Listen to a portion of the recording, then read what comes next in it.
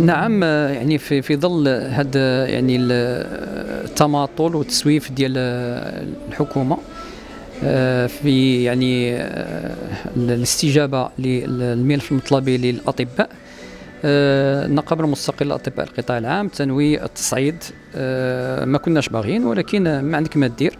لأنه ما تتفهمش علاش يعني تما يتهلاو دابا اكثريه حيت أخيرا في الخطاب الملكي الأخير نوه بنا صاحب الجلاله الملك محمد السادس وشاد بنا واعطانا التقدير والاحترام ولكن ما فهمتش الحكومة يعني ما داتش بهذا بهذا الخطاب هذا ما داتش به. يعني التسويف غادي نديرو غنديرو من بعد صافي تينساونا.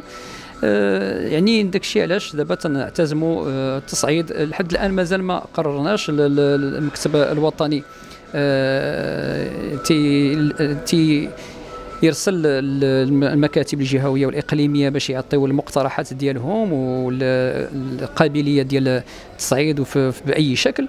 وإن شاء الله قريبا في القريب العاجل غادي نعلنوا على البرنامج النضالي ديالي التصاعدي إن شاء الله. قبل ما تخرجوا ما تنساوش تابوناو في لاشين فبراير وتابعونا على المواقع التواصل الاجتماعي.